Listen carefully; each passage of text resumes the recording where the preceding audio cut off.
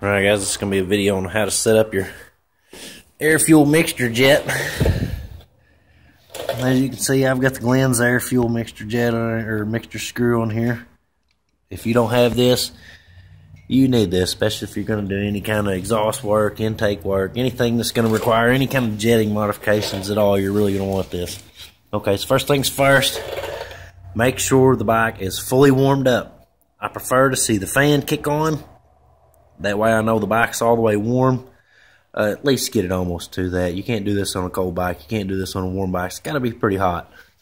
So, first thing we're going to do is start it up. Then we're going to turn our idle down. Now, you'll kind of get this by ear. You'll get used to it after a little bit.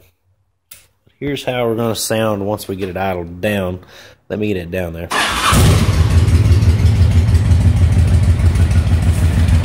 Okay, that's our normal idle.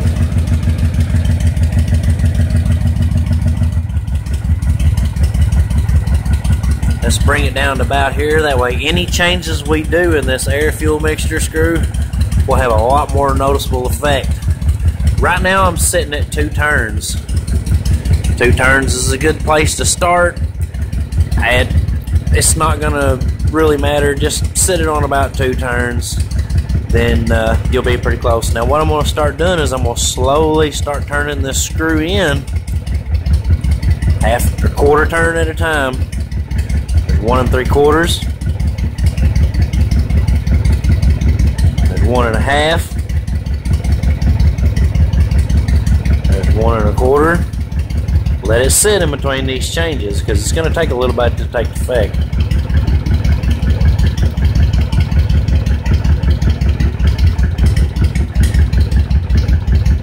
You hear it?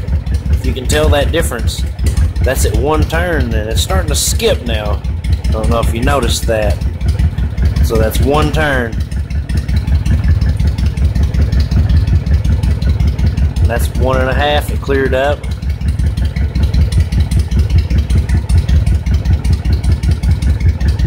Two turns sounds pretty good, but we're not going by the counter turns. Not yet. So we know we got the one turn and this sounds a little funky. Let's go on going out to two and a quarter.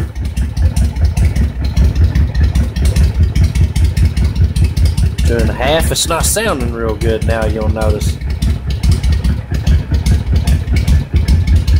Let's go back to two and a quarter. It's a little better. Let's go back to two. A little better there. Let's go back to one and three quarters.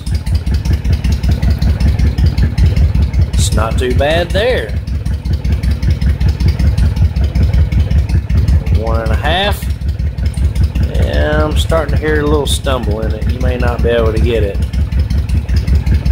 So what I'm saying is somewhere between one and three quarters turns and two turns, this engine's happy.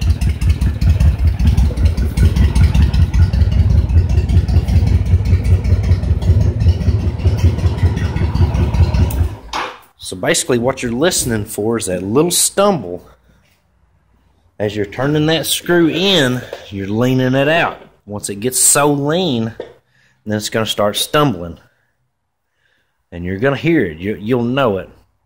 And then stop right there. And then start backing the screw back out to the other direction. That's richening it up. Once you get it so rich, it's going to start stumbling again. It's too rich. What you want to do is you want to catch the center in between too rich and too lean. So let's say if you're at one turn and it's too lean, three turns and it's too rich, chances are you're going to be sitting at somewhere around two turns. You can fine tune it as you go along. But that's kind of how it goes. It really doesn't matter what kind of exhaust, what kind of intake, what kind of jets you've got on it. To set your idle mixture, that's going to be universal for any bike. It's not going to matter what you've got on it. So uh, then don't forget to bump your idle back up. And don't let the bike get too hot. Of course, in this case, we're water cooled, so that's not too big of a deal. We're not going to worry about it on this VTX. So, anyways, that's how it works. Uh, if you got any questions, you know who I am.